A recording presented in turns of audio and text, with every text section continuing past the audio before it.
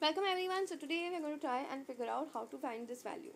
So we have 4 is to x plus 4 is to x plus 4 is to x plus 4 is to x. And then we have just equals to 2. So what we'll do is take 4 is to x common. So we'll be left with what 1 plus 1 plus 1 plus 1. Sorry. Plus 1 equals to 2. So this then comes out to be what 4 is to x into 4 equals to 2 so obviously let's try to keep the variables on one side. We'll divide both sides by 4. So this cancels and this becomes 1za and 2za. So this becomes 4 raised to x equals to 1 upon 2. Now understand, we'll try to write both of them in terms of 2.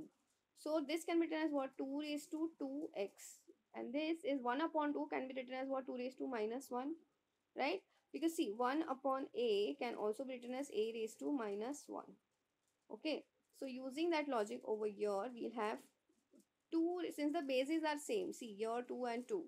Okay, so I can say that 2, 2x equals to minus 1. Therefore, I can say value of x is nothing but minus 1 upon 2. Okay, so now if you want, let's try and substitute it over here.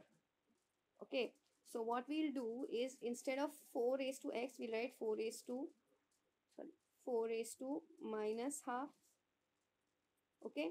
And this is what? 4 okay? Now 4 raised to minus half can be written as 1 upon half is nothing but what? root of 4 this is into 4 so this 1 upon root 4 is nothing but 1 upon 2 into 4 this is getting cancelled and you get the value of 2 so therefore you get the answer as 2 and that is your RHS so therefore I can say value of x is nothing but just minus 1 upon 2. That's it for today. I will see you in the next video.